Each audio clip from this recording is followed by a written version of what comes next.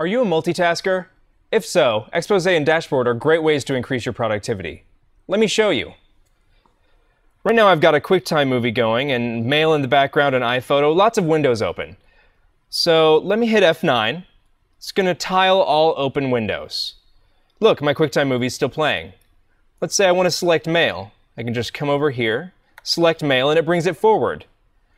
If I hit F10, it'll tile all windows in the open application. If I hit F11, it'll clear away everything so I can get to a document on my desktop. If I hit F12, it'll show me my dashboard where I can check the weather, the date, and the time. If you prefer using a mouse, you can also set up hot corners. Let me go ahead and hit F9. Oh, and look, I already have system preferences open. I'll select that, come to Dashboard and Expose, and here you see active screen corners. I'm going to select the lower right-hand corner and have it tile all windows.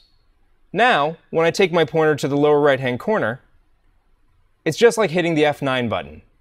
To learn more, come visit us at the Apple Store or go online to apple.com/business.